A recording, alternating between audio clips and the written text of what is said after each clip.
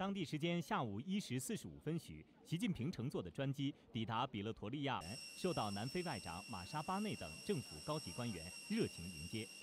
南非儿童向习近平夫妇献上鲜花，礼兵在红地毯两侧行注目礼。习近平向南非政府和人民致以诚挚问候和良好祝愿。习近平指出，当前中南全面战略伙伴关系快速发展，两国关系进入历史最好时期。双方政治互信不断增强，各领域务实合作深入推进，人文交流蓬勃开展，国际合作日益密切。我期待这次访问期间，同祖马总统就双边关系及共同关心的国际和地区问题深入交换意见，推动中南全面战略伙伴关系不断迈上新台阶，更好造福两国人民，为促进非洲和世界和平与发展事业做出更大贡献，出新规划，注入新动力。我相信。这次峰会必将取得丰硕成果，谱写中非关系新的历史篇章。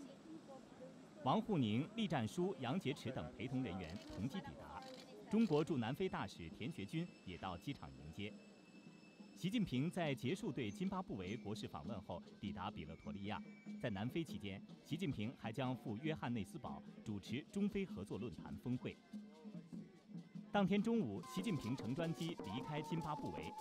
离开津巴布韦时，津巴布韦总统穆加贝携副总统姆南加古瓦、副总统穆波科、外长蒙本盖圭等政府高级官员到机场送行，两国元首进行了亲切友好的话别。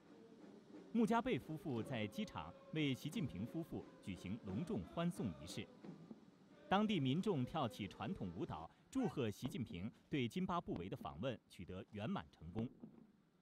军乐队奏中津两国国歌，仪仗队持枪行礼。两国元首期待在中非合作论坛约翰内斯堡峰会期间再度相逢。